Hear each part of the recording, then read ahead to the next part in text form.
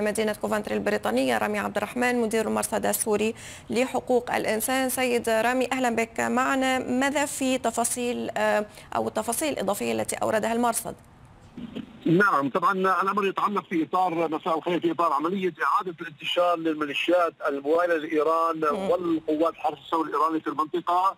آه، عمدت هذه المجموعات على إنزال الرايات التابعة لهذه المجموعات آه، من أعلى المباني التي آه، تتخذها مقام لها في مدينة الميادين ورفع الأعلام السورية وأعلام النظام السوريه المعترف بها دوليا فوق هذه المباني على أساس أنها مقرات سورية.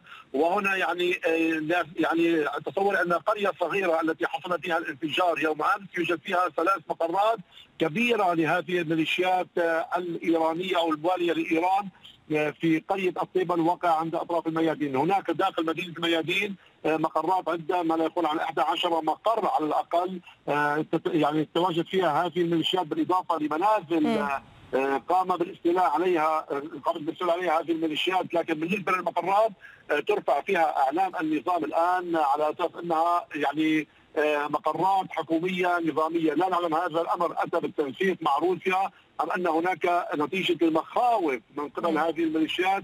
رفعت اعلام السورية واعلام النظام المعترف بها دوليا للقول بأنها مقرات حكومية سورية، هذا الأمر ينطبق على مخاوف من ماذا سيد عبد الرحمن؟ مخاوف من ماذا؟ مخاوف من ضربات إسرائيلية جوية؟ نعم نعم نعم نعم مخاوف من ضربات إسرائيلية جوية لأن إسرائيل عندما تستهدف هذه المناطق هي لا تستهدفها فقط لأن طائرات إسرائيلية تقوم بالاستطلاع في تلك المنطقة، تستهدفها نتيجة معلومات استخباراتية للإسرائيليين الذين يستهدفون بشكل دقيق المقرات العسكرية والتحركات والتمركزات والشحنات الجديدة التي تصل إلى تلك المنطقة من داخل أراضي العراق.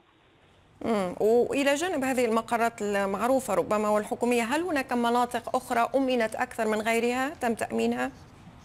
نحن نتحدث الآن عن مدينة الميادين وبضعه قرى قرب الميادين ولكن المعلومات التي نتحقق منها الآن بأن الأمر أيضا يعني يستطيع يستطيع القول بأنه في بوكمال يسير الأمر كذلك وأيضا في القرى الواقعة ما بين الميادين ودير الزور وهنا يعني دعينا نذكر المواطن السوري أو المواطن العربي حقيقة الأمر الذي لا يعلم بأن كامل المنطقة الواقعه ما بين دير الزور وصولا للبوكمال على الضفه الشامية هي تحت سيطرة الميليشيات الإيرانية.